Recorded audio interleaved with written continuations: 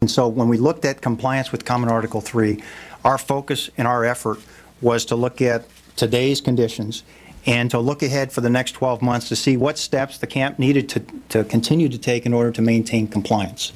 It was very important for us to, to contact outside groups, to hear from NGOs, to hear from uh, habeas counsel represented in their writings uh, in the public domain, as well as those who contacted us directly through written correspondence.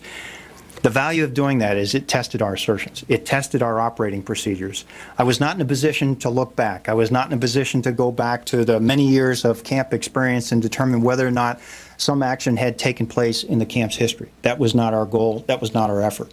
The way I see this, Jim, is that the role that we play is that we are the first in a series of steps in the executive order uh, towards the um, uh, termination of Guantanamo. And in my view, our role is to really address the number one priority of the national leadership team, which is to answer the question, is it in compliance today? And our review says that it is. And a follow-up then. In that regard, did you talk to any de- current detainees directly? About a dozen is uh, outlined in our, in our report.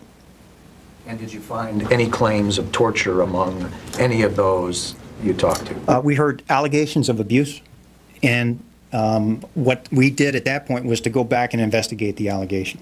Uh, In this specific case, there was a detainee who claimed that he was abused and beaten during a forced cell extraction. Uh, That's when a, a team of guards comes in to physically pick up and move the detainee if, uh, if, if there's a requirement to move him somewhere. That would be the kind of conditions. Typically, for those who are on a hunger strike, um, this means picking them up and moving them then to an area where we would feed them. Uh, this is an area of, um, of uh, great concern to outside groups as well. And uh, in this particular case, we were able to go back to video of the forced cell extraction. We were able to see what events actually took place. And we realized um, there were actions that the detainee had taken ahead of time that, that allowed the, the team to now respond the way they did.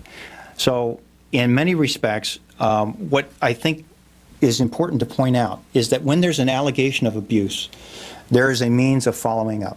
So in terms of how I look at whether or not the command is in compliance with Common Article 3, when there's an allegation of abuse or misconduct, the number one thing I'm going to look for is, is there a systemic problem here?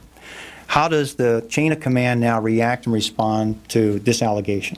And what we found in the course of our review is that there are iterative steps that now the oversight and leadership take part in actively in order to determine whether or not this particular allegation was substantiated. I would also share with you that in the course of our work, we did look at uh, guard records. We looked at, at, in other words, our own report card on ourselves. Uh, what we found is that there were, uh, in some cases, substantiated uh, evidence where guards had uh, misconduct, and I think would be the best way to put it. That will be in the report as well. What the report will read is that we found uh, 20 uh, allegations, 14 substantiated, and then we will lay out what particular actions were taken in all of those uh, cases. So this is non-judicial punishment, this is reprimand, uh, this is relieving people of their jobs on the spot.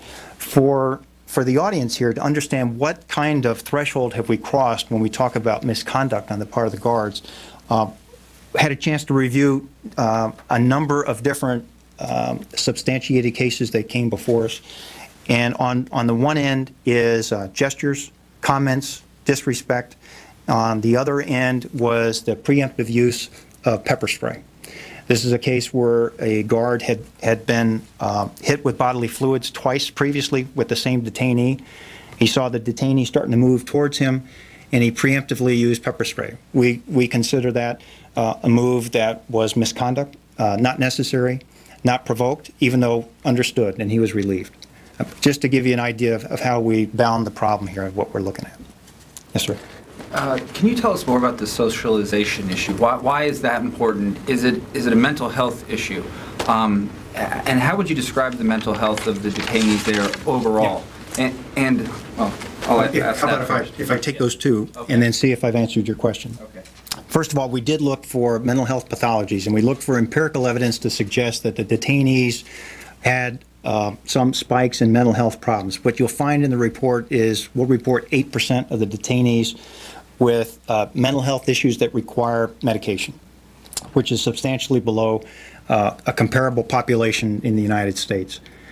But to your point, uh, I need to, to be very clear on this. Uh, I come in as an operator with a fresh set of eyes and a and what I hope would be a common sense approach to a number of issues starting to, to uh, play out after prolonged detention.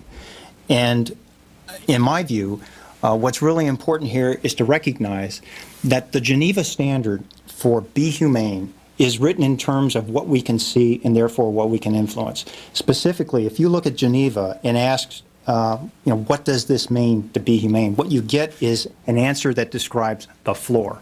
It describes adequacy. It describes sufficiency. And it's on food, it's on water, it's on shelter, and the ability to practice religion. So what we're doing here in this report is we're saying there's another dimension to this that we have to look at, and that's mental welfare. And we think that's critically important. I'm not a behavioral scientist coming into it, but I'm looking at a period of prolonged detention. I'm looking at uh, people, uh, particularly in certain camps, and this is Camp 7 to be specific, where uh, the conditions that were originally designed for Camp 7 may have been satisfactory and may have been humane then, but what we're uh, what we're taking advantage of with the review team is we're also looking ahead at the next 12 months. And I can't tell you uh, definitively if this is a threshold that we cross uh, in six months or six weeks, but the point is, why wait? Why wait in, in order to have empirical evidence to say we've got a statistical problem with mental health here? Why not get in front of this? Why not recognize that key to the Islamic religion is being able to practice prayer as a community. Uh, the ability to interact uh, person to person is critically important for folks to be able to socialize and to be able to be intellectually stimulated. Um, so that's the um, perspective that we're bringing to this discussion. Uh, Just to follow up, will you allow high-profile detainees to interact more with other detainees? And and is there a risk there? Uh, I'm, I'm glad you brought out the risk because in the report, it's important to talk about risk because uh, if, if that's all you saw, then you would move to a more communal population for the entire detainee population, and that is not practical. So the risk management now is critically important to the uh, Joint Detention Group commander down there, who makes that decision moment to moment.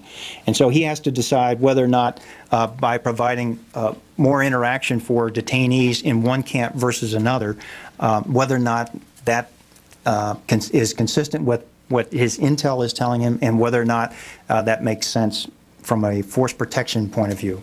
Uh, in the case of Camp 7, I think there's opportunities for social interaction without mingling uh, Camp 7 with any other camp. Uh, this is a matter of interacting with more people who are there. In fact, uh, rulings have, have come out that have directed that uh, at least five of, of the members who are co-conspirators could interact with themselves every two weeks. This is this is part of what's already in play. So I think we should recognize where the courts are in this as well. For how long a period of time, that interaction? It, Every two weeks. every two weeks, the length of time, uh, I'm sorry, I, I can get back to you for the record, but, uh, uh, but the point is it's unmonitored, okay, and that's, that's by the court ruling, yeah. Uh, Your your report uh, underlines the uh, the importance of trying to solve um, uh, the issue of detainees who are still in Guantanamo, but um, although there there was a court order to to free them, uh, to to solve that um, issue um, as quickly as possible. Uh, Have you had the opportunity to to meet the Chinese Uyghurs who are still in Guantanamo? And um, have you noticed, I mean, are are you particularly concerned about their mental health? Uh, You've talked about anxiety. Can you develop on that? Uh, Well, where the, um, where the Uyghurs are currently held is an area that allows for um, a very communal sort of atmosphere. So they are able to interact with themselves uh, as much as they want. Uh, The real issue here is not so much the, the effect that this is having on the Uyghurs, although they are very exasperated by this process. Uh, The real issue is that everybody else in the camp is watching. So everyone knows, and we have the executive order posted, so everyone knows that the camp uh, will close, that Guantanamo will close in 12 months. But they're expecting movement. And when, these are the rest of the detainee population. And when they don't see the Uyghurs, who, it should be a very clear-cut sort of solution for them, that they would be able to move on and repatriate in another location, uh, when they see that as complicated and, and what may appear to be slow to them, um, the detainees find that very frustrating.